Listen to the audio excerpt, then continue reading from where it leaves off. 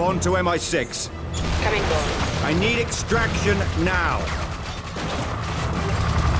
This is Tanner. The ETA to extraction is nine minutes.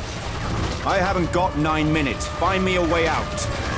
There's a plane on the far side of the field fueling for takeoff.